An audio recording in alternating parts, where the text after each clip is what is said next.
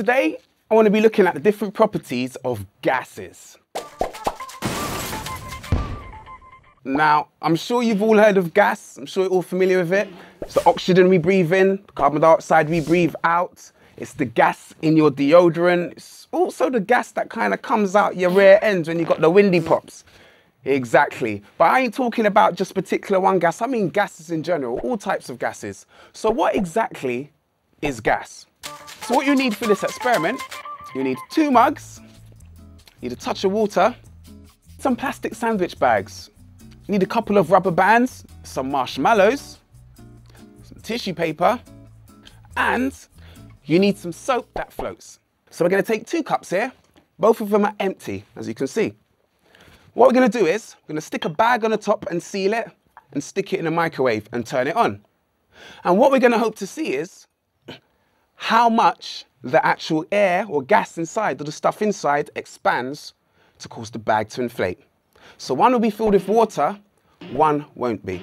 Water, H2O, when it turns into a gas, it actually takes up 1600 times more space. So, water, no water. As you can see, I'm not going to turn this one upside down. Okay, they're in. To stick it on. And watch what happens. Here we go. As you can see, as it cools down, and I've taken it out, the bag is rapidly deflating. And that's because it's cooling down. The one that had no water in it hasn't changed size at all because there was no molecules of water in there. There was nothing to get hot. So basically, it's practically a cool cup with no change in volume. But in this one, when the water changed to a gas, it took up a lot more space and it filled up the balloon. So that is what happens when a gas is formed from a liquid.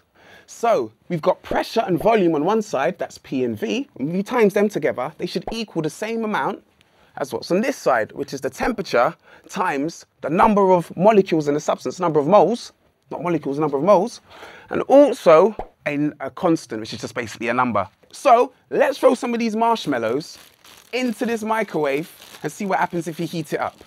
Now the thing to remember about marshmallows is they're really fluffy. They're like a kind of harder foam, a solid foam. And if you look at these, the air bubbles in them, they're really squishy. The little bubbles of air in them means that if we heat this up, the molecules, fat and water inside it, will vibrate and get hot. And what they'll do is they'll tend to cause the water molecules inside to expand and also some of the gases inside to expand. And as they expand, they should take the marshmallow with them. We're gonna stick it on a tissue and put it in the microwave and see what happens to this marshmallow. Time for some marshmallow action.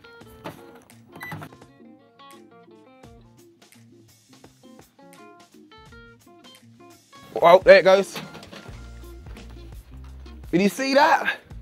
Now the thing is, it just looks like a sludge, but if you could see before it turned into a sludge, it actually got really big. And that's because all of the bubbles inside, as they was escaping and getting bigger, they took the marshmallow with them. But the minute I turned it off, the heat was removed and the volume decreased. Now, if any of you lot have seen any of the other head squeeze videos, you may have seen Greg talking about why do some turds float? Well, it is the exact same description for this. It's that it has tiny bubbles of air in it. And because the air is less dense than water, it tends to go to the top in water. You can check my video on density as well if you want to get a little reminder of what density is. Let's take this soap that floats and do something really stupid with it.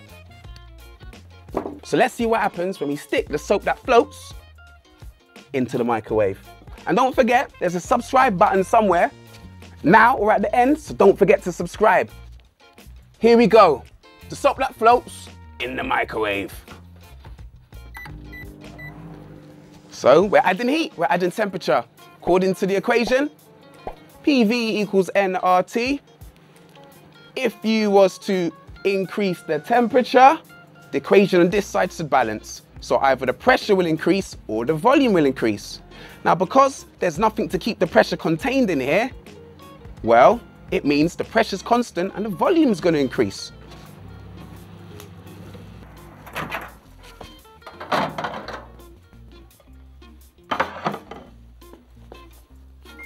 soap souffle, people. Come and get it.